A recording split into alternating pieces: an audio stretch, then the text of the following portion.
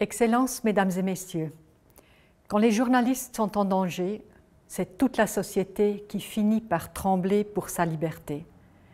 Quand les journalistes ne peuvent pas travailler de manière libre, indépendante et sûre, c'est le débat public qui est étouffé. C'est pourquoi les attaques contre les représentants des médias et l'impunité pour de tels crimes doivent être considérées comme des attaques contre la démocratie elle-même nous observons une aggravation de la situation des journalistes en Europe au cours de ces dernières années, une tendance encore accentuée durant la pandémie. Si on nous avait dit, il y a quelques semaines, qu'un avion serait détourné et qu'un journaliste serait arrêté après un atterrissage d'urgence forcé, nous aurions eu de la peine à y croire. Et pourtant,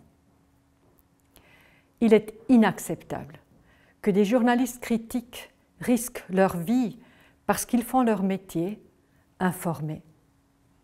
Parce qu'informer, dénoncer les actes répréhensibles, demander les comptes aux autorités et aux acteurs puissants, questionner, enquêter, c'est la tâche même du journaliste. Respecter ce métier indispensable à la formation de l'opinion publique est le devoir de chaque État. Chacun de nous doit être attentif à toute tentative de brider la presse. Je tiens donc à saluer le travail clé du Conseil de l'Europe pour la sécurité et l'indépendance des journalistes, ainsi que l'existence de la plateforme pour la protection du journalisme et de la sécurité des journalistes. Par sa rapidité et son lien direct avec les associations de journalistes, cette plateforme est essentielle à la prévention et à la réparation de violations des droits de l'homme. En effet, des journalistes menacés peuvent s'annoncer et des cas concrets sont listés. C'est efficace, c'est transparent et c'est pourquoi la Suisse soutient la plateforme. Nous soutenons également la coopération étroite entre le Conseil de l'Europe et d'autres organisations intergouvernementales qui s'occupent de la thématique comme l'UNESCO et l'OSCE. De plus, mon pays s'engage dans le groupe d'amis pour la protection des journalistes fondé à Strasbourg en octobre 2020.